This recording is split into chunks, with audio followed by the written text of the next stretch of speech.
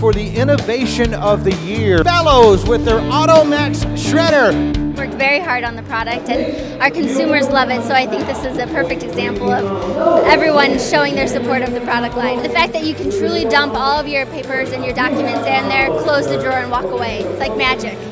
Best product in furniture. MooreCo for their shapes configurable desking system. What's really cool is you have the ability to go from basically a straight line to get into to groups where you can go into pods of three, four, five, or even even larger. And when you combine that with how technology is being used, um, it, it, enables collaboration, which is really what a lot of education is today. Best product in cleaning and break room. 3M LED Advanced Light. It's it's a it's a real green product. I mean, it's it's safe.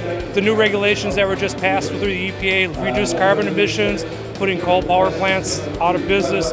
These light bulbs will help increase 3M's independence of energy around the world. So that's it's a great product. Best product for technology, Logitech Bluetooth keyboard.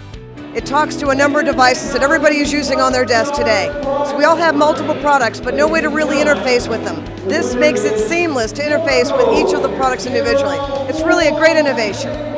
Best product in the core office products, MooreCo, Sharewall, you know, as, as people are looking to try to generate ideas in business and working together and to collaborate, it gives them a place to write, and they can write anywhere.